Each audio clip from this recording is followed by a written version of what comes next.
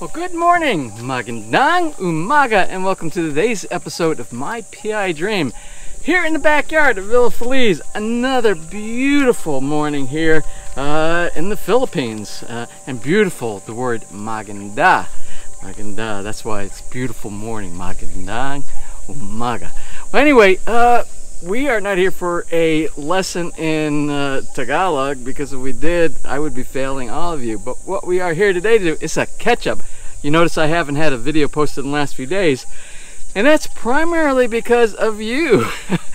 uh, because of your responses to the last episode that we did showing a couple of the model houses here. I am, uh, my inbox has been full. It's, it's full every morning uh, with inquiries about that, and I've been passing that on to the, the realtor for the subdivision.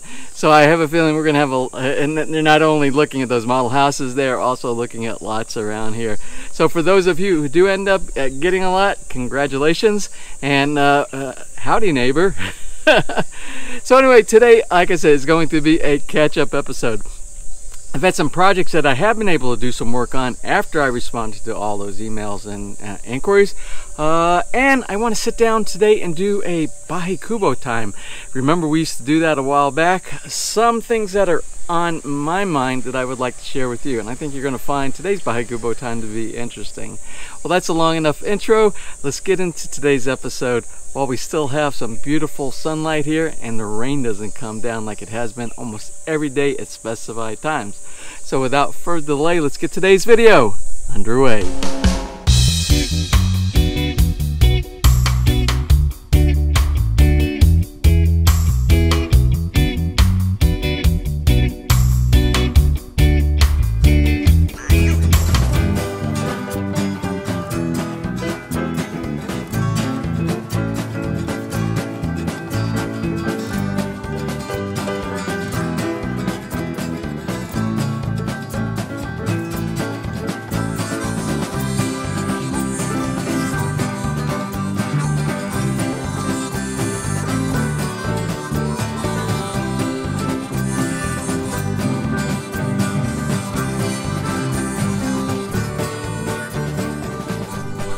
It's just amazing. Every morning I get up. It's actually later right now. It's probably around 9 o'clock in the morning.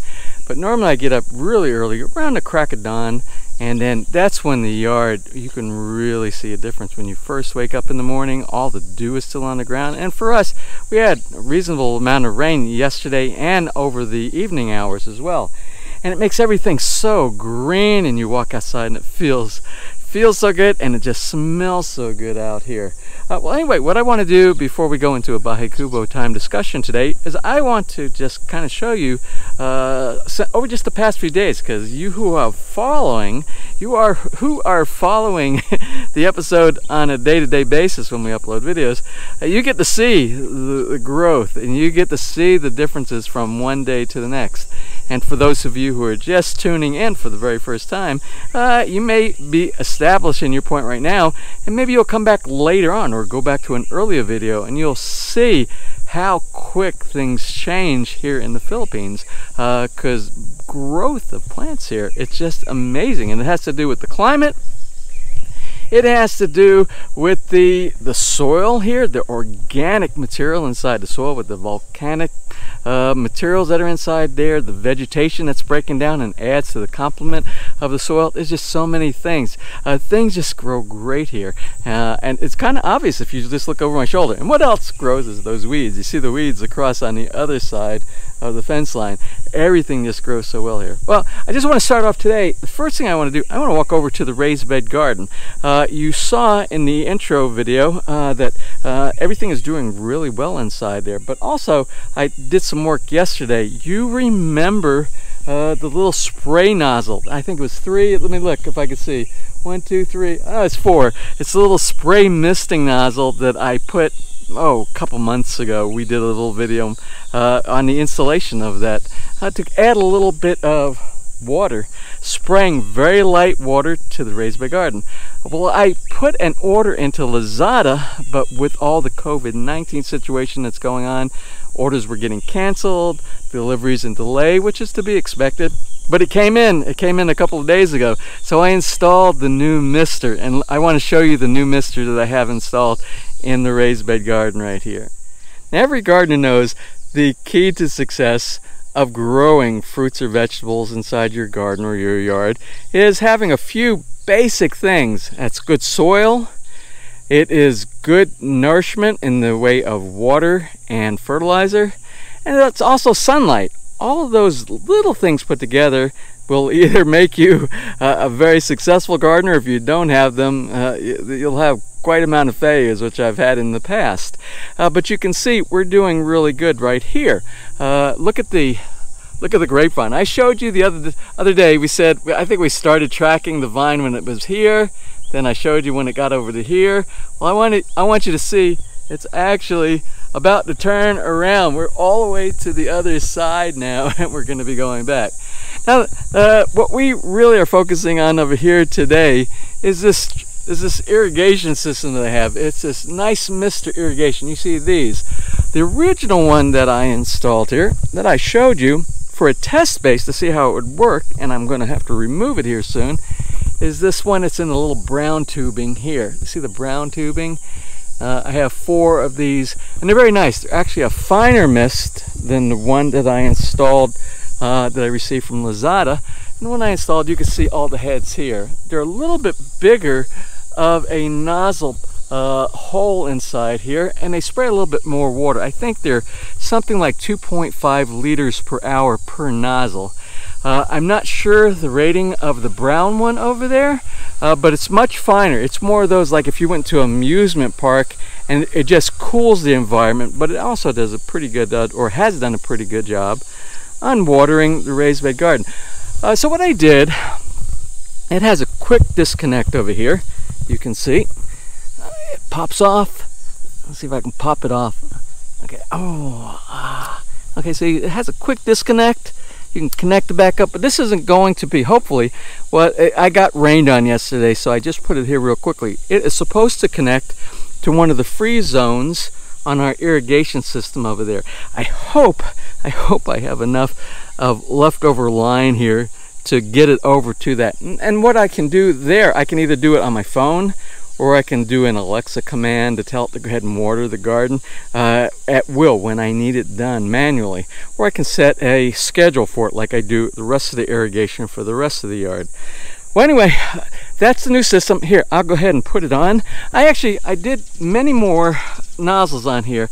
I can't remember what my number is. Let's kind of look. One, two, three, four, five, six, seven, eight, nine, ten, eleven, twelve. I have 12. I think I have 12. I think it's 12 nozzles on this one as opposed to the four before. Now when I turn on the the bib, the water bib here, this is what I get here. Now, I'm not sure how good you can see it through the camera's eye view, but it does a very nice pattern over the entire raised bed garden. Now the raised bed really doesn't need watering right now because we had lots of rain yesterday, uh, but this is just for an example and it doesn't hurt. It's not going to hurt to have uh, too much water right now. It'll go away very quickly and it's a fine mist again. So once I get it connected to the irrigation system over here, to the automated irrigation system that's controlled by the Rachio uh, controller and the app, uh, we'll be able to do it via remote through Wi-Fi over our phone or any computer inside the house or even uh, as part of our smart home we can use Alexa. Now, let me go ahead and turn this off. And again later on probably today I'll see if I have enough hose to reach to one of the uh, free zones that I have inside the irrigation system here for the yard. Now I showed in the intro this morning this plant when I was showing the different growth that we have in the yard, uh, different fruit bearing trees. Now this is the pawpaw you remember, the pawpaw. It's doing great. I want you to see the bark on here. It's starting to get thicker and I've already pulled off three blossoms that look like they were carrying fruit and it looks like we have another blossom right here in between these leaves. I don't know if you can see it down inside there. It's way down there. Uh, but we'll cut that, if it looks like it's a fruit, which I believe it is, we'll go ahead and cut that off. Remember, you want to cut off all your fruits for the first two to three years on any of your fruit-bearing trees uh, to promote the growth, like we did in our video on trimming and pruning. Now you remember it was about a, a week ago that we talked about the pruning and the tipping or the trimming of your of your citrus and your fruit bearing trees. Remember this this was our lemon. We actually have two lemon trees here. And then what we did is we were cutting off lots of these little growth. Actually, we cut off all of these. We had one main trunk and I'm just going to pop these off with my finger because we don't want the energy to be focused here. We want the energy to be focused on this plant. Now, here we go again. Look at all, all the lemon. These are all lemon buds inside here. I'm gonna have to pop these off also. I don't want any fruit growing this year on, on this plant here. Now, as a result, I explained to you, when you do the tipping, what will happen is you will get new growth. You see the new growth right here and the new growth right here. And this is what is going to develop the thickness of your, your tree. It will do a branching out at that and you can control uh, you can control the shape of your tree by doing proper pruning. I want to show you some other ones that we did and how quick we've gotten some responsiveness to. And here's another one of our our citrus trees we have here. Remember, it was a dual branch. We had a second big branch that came out here. We chopped this off and we're still starting to get little pieces and I'll keep taking all of these off. We don't want any of these to take away energy. I want you to see up at the top now. You see where we trimmed it here? We're getting new growth. It looked like I really killed this tree, but I really didn't. I'm actually making it stronger and all the new growth right here. As well as this one. This one had several growths on the bottom and we're starting to get the new growth up here and over here. Now this one over by this island, remember this is our island where I, I really put too much of the chicken, uh, the chicken manure and rice hull uh, ratio. I did a little bit too much and I kind of burnt out a little bit of the strawberries here, but the strawberries are all, you see they're coming back in really good very healthy looking over there. And I added some of the Moses in the cradle as well from our planter uh, by the garage. But this one is the one, I'm not going to dig this up here, but underneath there is where I cut off a big section, a huge section of a Y, where it wide off on the trunk, very low, which we don't want. And I didn't have to tip this one because I like the shape with this one. But you can see all the new growth, all of this new growth that you see everywhere here it wasn't doing that before until I cut the base, which was taking up all of the energy, and now the tree is starting to develop. now this, we don't we don't have big moles here. We got a lot of other things that we're going to talk about today, uh, but we do have a dog named uh, Marianne and a dog named Hopone. I don't know whose signature this is. Uh, Marianne uh, makes nice smooth holes the lay-in for the coolness for the main digging like this one. This is more this has more of the signature of Hopone where he buries his bones. Ah uh, that's the consequence of having pups. And before we retire over into Bahay Kubo and have a little talk a little chat uh, I just want to show you this area right here. This is the third island uh, that we did well, about a week ago uh, I made a mistake here. I added a little bit too much of the compost, uh, the, basically the cow manure and the rice hull over here with the mixture, not as, as far as ratio, but for buildup. I made this too high. I made it flat to where it goes over this area. Now, I didn't really think this out properly too well. We get some runoff from the roof up here, and when it rains hard, right in this corner over here, we get a lot of water. Well, when we had the the grass here, uh, the bluegrass, it was tilted. The grade was tilted properly, so all the water came back here. We had no problem with it at that point. Kind of built up a little bit too much. What I was noticing, it was splattering on all of that. My grade wasn't that good, and I had a little bit of mud that went over the corner. I have to be careful with that because we have the basement, you know, and we want to make sure all grades are away from any of the walls of the basement. It never went down the stairs, so I didn't have a problem.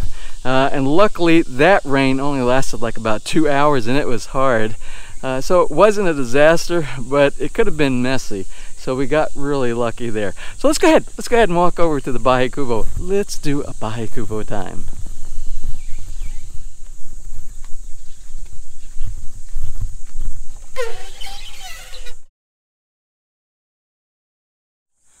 all right, it's been a long time since we did a Bahay Kubo time, so it's a good opportunity for me to pass on some information to you uh, from my experience and some of my thoughts. This is a great thought sharing process here in the Bahay Kubo. Hey, hop on. You want to sit up here with me? Or are you cooler down there? Huh? You want to sit up here? Come on. Why don't you join me? Come on. Good boy. Join us. Join us for a little bit of today's exchange of thoughts. oh, are we having an exchange of thought? Oh, his exchange of thought is always, I'm hungry, feed me. All the time. Well, anyway, what I want to talk about, I just want to hit a few brief points. I, I was going to title today's episode, and I don't know if I will or not, uh, Let's Get Something Straight. Because what I want to do, I want to share with you uh, some of uh, the positive and the negative aspects about living and retiring inside the Philippines. Uh, there are some things that we don't really talk so much about, and these opportunities for us to chat, we can share some of those views, my views from my experiences over here. Anyway, I want to talk about several things. I constantly get write-ins on the channel. Uh, also emails, people asking me specific things. So we're going to start there, then we're going to talk a little bit about some nuisances around here. Um, the first thing, uh, land purchases. Purchases qualifications for expats. I am always getting questions. I am always getting questions about, uh, I'm a foreigner, can I buy property? I want to live like you live inside the Philippines, uh, which is pretty nice over here in the Philippines. I got, I got to tell you, 365 days of beautiful weather when it's not raining. Uh, and we're in rainy season right now, but it's still beautiful even when it rains and it nourishes everything, makes everything green as you've seen. Well, let's get back to the question. The question is, uh, how can I, as an expat, uh, a foreigner buy property in the Philippines? Well, except for a couple of real weird exceptions, you can't. You cannot buy property. What most people do over here is they are either married to a Filipino or a former Filipino citizen. And when I say former Filipino, what I'm speaking of is somebody who left the Philippines and became a naturalized citizen in another country and they don't have a passport anymore from the Philippines. Uh, just like Ness. Ness is a U.S. naturalized citizen, so she is considered balikbayan. So those former Filipinos considered to be balikbayans, they're still able, eligible to purchase property here inside the Philippines. So let's get back to the main issue. You're a foreigner, and you are looking to purchase property in the Philippines. Again, foreigners cannot purchase property, but if you are married to a Filipino or former Filipino uh, former Filipino, a balikbayan, you can purchase property. Now there's a little restriction on the former Filipino balikbayan status, and I don't want to get too complicated. Uh, and this is not a dual dual citizen status. This is only a foreign uh, foreign passport, a foreign naturalized citizen from another country. They have a restriction where they can only purchase up to 1,000 square meters of property. Uh, so, Filipino citizen, buy as much property as you want, former Filipino, up to a thousand square meters, dual citizenship, your Filipino status allows you to buy as much uh, property as that you want because you have not given up your Filipino uh, citizenship or passport.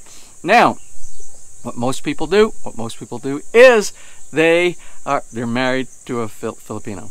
Uh, then they are able to come over as a foreigner and do like what we did, get some type of retirement visa, whether it be a traditional 13A, 13G, or for us, the SRRV, which is a great program that we have videos for, and I'll put a link as well at the end of today's uh, video for getting the SRRV. It's the Special Resident Retiree Visa. It's a, it's a great program.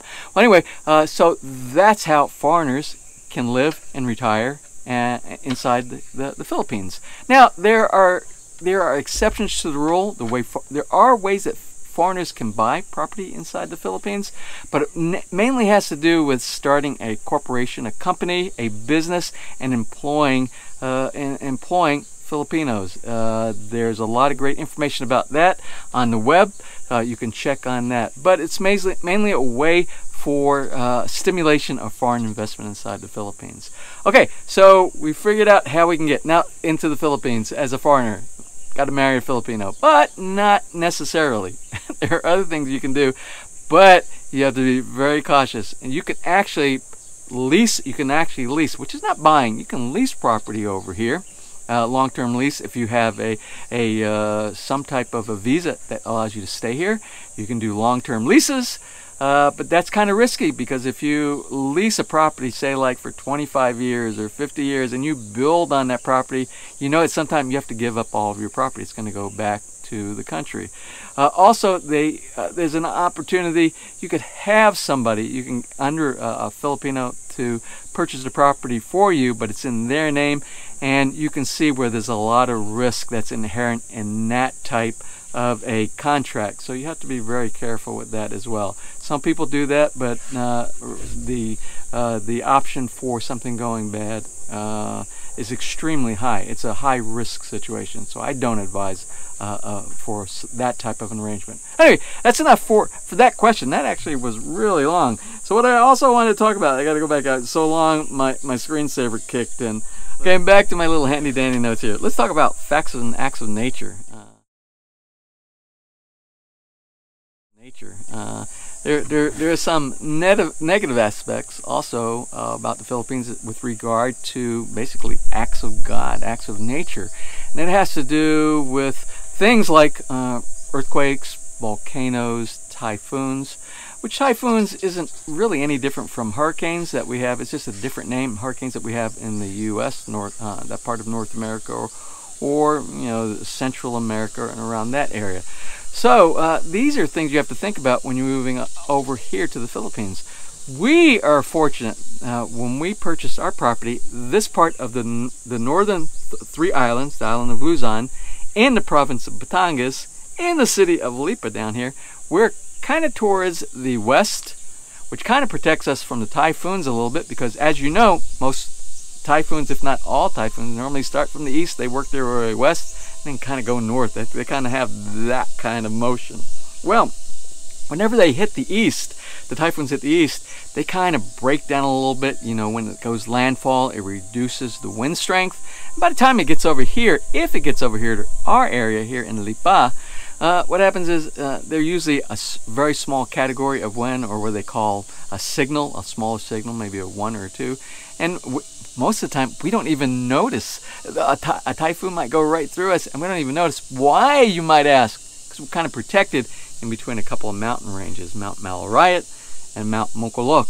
Uh, and we are in a plateau, plateau uh, in a valley, higher region, which which uh, accounts for the very mild climate that we have here in Lipa, which is one of the most attractive things about building a home, a retirement home in here, because it's much cooler than the, to the north of us and to the south of us. North and south. Okay, anyway, enough about that. Oh, also, we live near a volcano, and I'll, I'll put a link at the end of today's, today's episode about the volcano. Although we're 21 kilometers, and I think the big ring of all the dangers, like 17 kilometers, uh, from the eruption we had in January, I have some great videos on that. Please, if you have not watched that, you should watch that. It's it's like epic. The videos are epic. One of them I think went kind of kind of what I'm going to call kind of viral. Anyway, so uh, I'll put that at the end of today's episode. Security, security, security is always a concern. And it's not just a concern in the Philippines, it's a concern anywhere. Common sense approach to security should always be applied to wherever you are going to retire or reside. It does not matter. Common sense approach.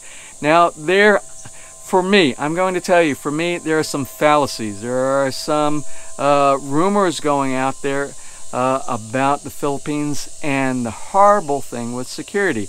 Now, I am sharing this from my experience, my experience here in this part of the Philippines, in this part of Batangas, in this part of Lipa.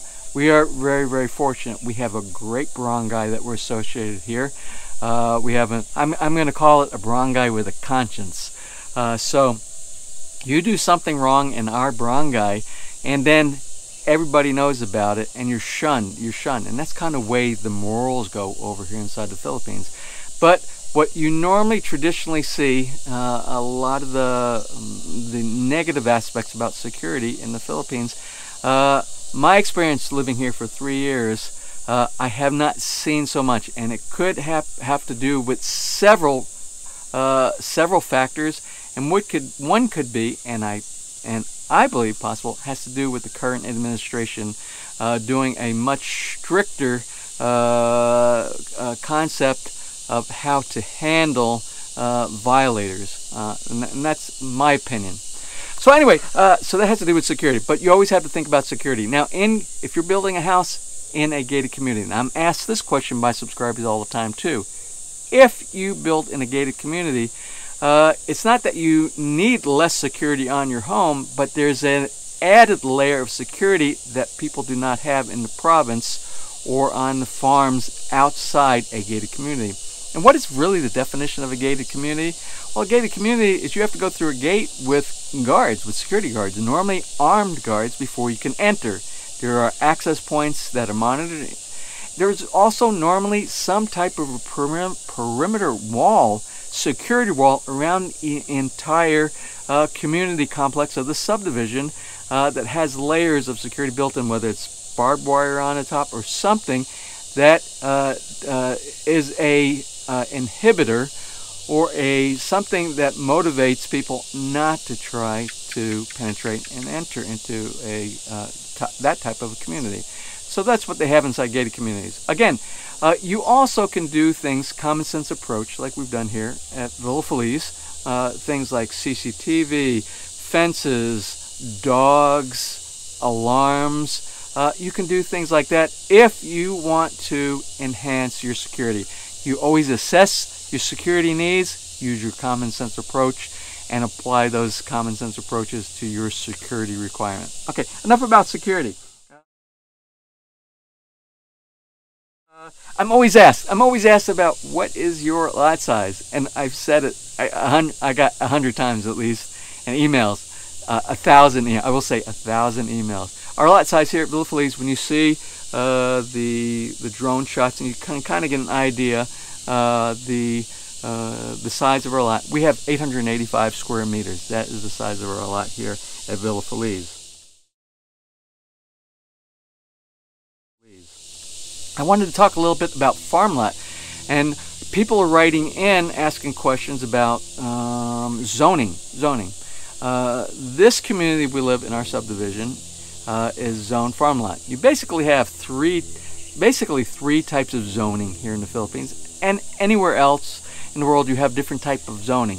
Of course, you have commercial, you have residential, and we have another thing uh, called farm lots, which is basically like uh, farming. And what that has to do with, it has to do with uh, you have to allocate a certain portion of your property, kind of like for zoning, and only a certain portion of your property uh, for your house footprint. So with regard to the qualification for farm lots, uh, it is your house cannot be more than 25% footprint and any buildings associated uh, with your house, a garage, a, a uh, maybe a concrete-based workshop or something like that uh, that cannot all together added together cannot exceed more than 25% or you do not qualify for the farm lot. And what's the good thing about the farm lot? There's a tax exclusion. Your taxes on your property are lower than a residential lot.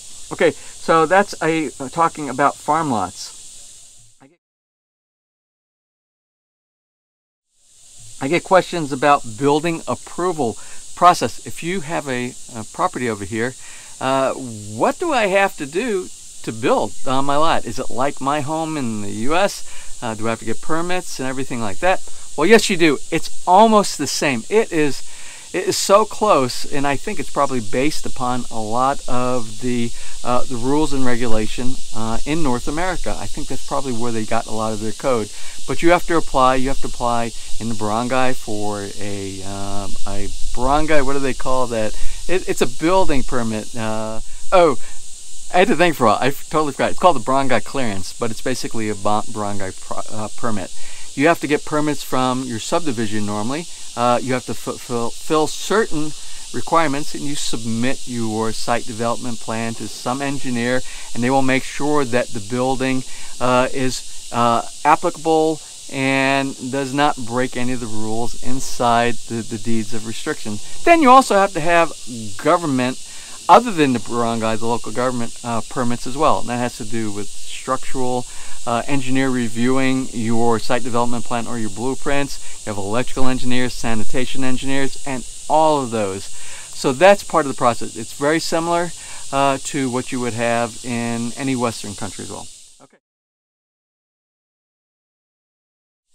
Now, the last thing I want to talk about today, uh, which actually stemmed what I wanted to have a Bahay Kubo time for, has to do with nuisances.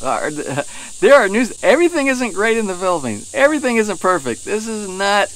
Uh, this is not nirvana here, uh, but it can be your nirvana uh, if uh, you do things correctly and you handle nuisances properly.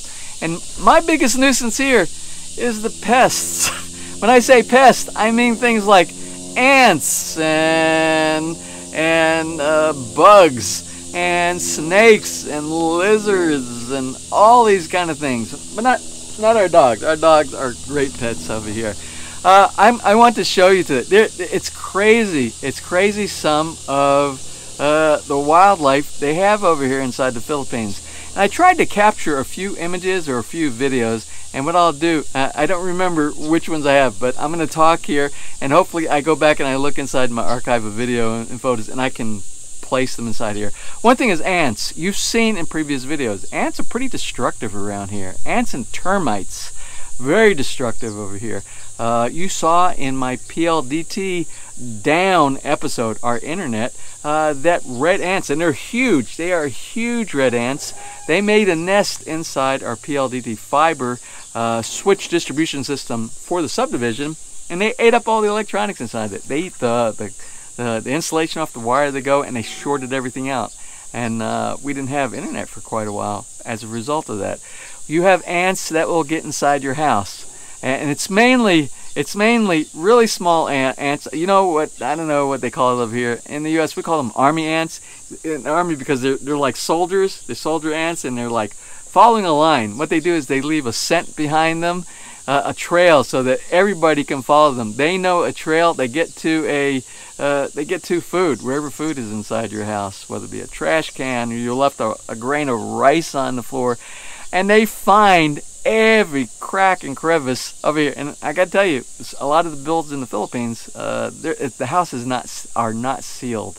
Even in a Western designed and a Western constructed type of a building, they're going to find their way inside your house. We we we're always dealing with ants inside the house. Okay, the other thing I want to talk about is lizards. They have lizards over here that are from this size to literally like this size. Something that looks like the, the what do they call it? The Komodo dragon. Uh, Komodo, I think that's the name of it. Komodo dragon. But it's it's sort of an ancestor of that, from what I've heard. And we have something over here called the Balawan. Balawan, I think that's the name of it too in Tagalog. It's the monitor, the monitor lizard, and it's huge. Uh, it's huge, and sometimes when they're like this long, they find a way into your house. Case in point, uh, Ness screamed, uh, and I thought she was joking. She said, there is a dragon in the shower. And I thought that was fun. This is hilarious. What is she talking about? There's a dragon in the shower. So anyway, I went inside after I sat down and I chuckled for a while, not taking it seriously. Uh, I, I, I took on a sense of seriousness when her screaming started getting louder and faster. I'm like, oh, maybe I better check on this. So I went into our comfort room, our bathroom on the first floor, and inside the shower there was this. now this, uh, uh, I, I found this inside the shower, so she was right. There, there was a dragon a dragon, a monitor lizard basically inside there. It's huge. Now you have to be very careful uh, but before I tell you why you got to be careful, uh, I had to find an approach to capture this and get it out of the house. So my recommendation is every house have that those sticky boards. They have these sticky boards you can buy over here that's normally used to catch mice and rats inside your house. You can put it in your attic. Uh, any place you think a mouse a mouse or a rat can get inside your house or there's evidence there's some droppings there or some holes inside your screens uh, you should put these things down. But they're also good to keep in your arsenal of varmint weapon toolbox inside your house you should keep these inside your house uh, in the event that you have this now you do not want to capture this lizard this monitor lizard you do not want to capture this with your hands uh, because they bite they will bite you. And if they bite you, they're poisonous in a manner that they're not like venomous kind of a poison, but they have so many known bacterial uh, things inside their mouth on their teeth uh, that you are extremely prone to infection from these animals. Uh, they're not really so scared of you either. Most lizards will run away from you really quick, but they do, they see you and they will challenge you. They might not lunge at you, they might lunge at you. Uh, this one didn't have an opportunity to lunge at me uh, because I closed the door of the shower before he could get to me. Uh, but this is the second one that we've captured inside our house here. Uh, I know where he's coming in. Uh, we have a hole in our screen in our generator room. And when we open up our generator door during generator events to allow fresh air to go through there, uh, it gives them an opportunity to get in other parts of the house. So anyway, you need to be careful about things like that. There were several, oh, snakes. I don't know if I have a picture. I hope I have a picture somewhere on my phone.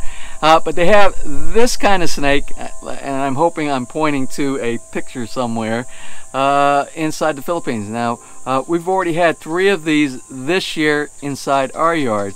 Uh, I don't know if this is a venomous snake, but I, I do know that it is not scared of you. When you approach it, it will approach you. And that's what this snake did uh, to both me and to my gardener. Uh, so you have to be very careful about snakes. Now there are other snakes inside the Philippines as well. There are some huge snakes. There are some snakes that are like this big around that, that, that will stem the entire length of a two-car street where its head is totally on the sidewalk of one side and its tail is still in the yard on the opposite side. I don't know. I don't know if these are boas. I, I don't know what these are, but they're huge. So, so there are there are things over here that you have to be aware of. Uh, again, you know that's part of nature. There are things are around the world. You just have to kind of be careful. So I talked about ants. I talked about the monitor lizard. I talked about snakes. Uh, I talked about mosquitoes. Uh, and I, am sure I'm sure I missed something because I didn't categorize it on my little note here. Well, let me see if that's really. I, I, this turned into a really long Bahay Kubo session here. Uh, I, I don't. Uh, I don't want to go much longer. Now, I, I think I covered several of those. And what I'll do in upcoming episodes, I'll try to make these smaller and uh, try to bring to the table here in the Bahay Kubo a lot of the questions that are common questions that people are asking all the time. So anyway, uh, if you have a comment or an email, say, hey, on your next Bahay Kubo time, can you bring this subject up? And maybe I'll get to that as well. Uh, anyway, that's it for today here at the uh, Bahay Kubo time. I think we have a birthday shout out. I need to go inside. I need to get with Ness uh, so that we can uh, say hi and do a birthday shout out to our birthday recipient. Well, anyway, it is not a birthday shout out. It's a anniversary shout out. It's a belated anniversary shout out, and we're going to get this in. Uh, we haven't had a video in the last five days. That's why it's belated. Uh, but it's for... it's for May. It's for May 27th, and it's for one of our subscribers uh, and his asawa. Uh, it goes out from Ellie uh, Bushler, uh, and it goes out to his wife Anne Ann Bushler, who are from Pampanga. From Pampanga. Uh, and they're, again, they're celebrating their third, or had, they celebrated their third anniversary. And I hope they were able to do it okay because they're kind of in one of those uh, MECQ, the, the enhanced, it's a weird enhanced type of a quarantine up there where we're at. Well, they're in the process of building from what I understand, uh, but their building is on hold because of the quarantine that's where, going to Where did Ellie come from? Uh, oh, Ellie. Ellie is from the UK. The Ellie is he is originally from the UK. Uh, so anyway, uh, I, let me see. Let me look real quick. Is there anything else on your little note that they have for? Uh, uh, he said he's originally from the UK and he's retired now here in the Philippines. Uh, so anyway, we want to wish both Ellie and Anne a belated Happy anniversary. Happy well, anyway, I think that's enough for today. We're going to close. Today's episode actually went a lot longer than I was anticipating. I thought it was going to be a very short Bahay Kubo time. It always does. It always does. she knows. She knows. So anyway, I hope you enjoyed today's episode, and I hope it was a distractor from a lot of the things that are going on around the world today. Sometimes we need a little bit of a distraction. Again, uh, I hope you enjoyed today's episode. I hope you found it informative. If you did, please give us a thumbs up. Please share, and if you have not subscribed, just click on that little My PI Dream heart in the bottom right hand side of your screen it there? Yeah. yeah. yeah. Okay. And you'll be subscribed and notified the next time we upload a new video. So until such time, you have a wonderful and blessed day.